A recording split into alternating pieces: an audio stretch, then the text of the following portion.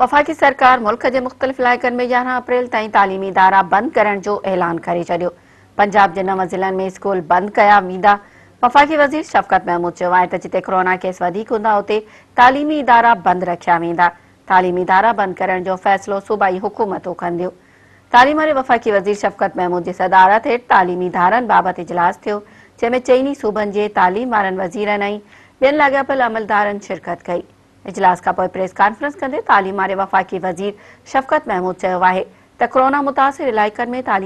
बंदि करण जो फ़ैसिलो कयो वियो आहे शफ़क़त महमूद चयो त पंजाब जे कुझु ज़िलनि में कोरोना केस वधिया आहिनि जेतिरी गणती आहे नवनि में यारहं अप्रैल ताईं तालीमी इदारा बंदि रखिया वेंदा इस्लामाबाद में बि यारहं अप्रैल ताईं समूरा इदारा बंदि रहंदा वफ़ाक़ी वज़ीर चयो त तालीमी बंदि करण बाबति फ़ैसिलो हुकूमत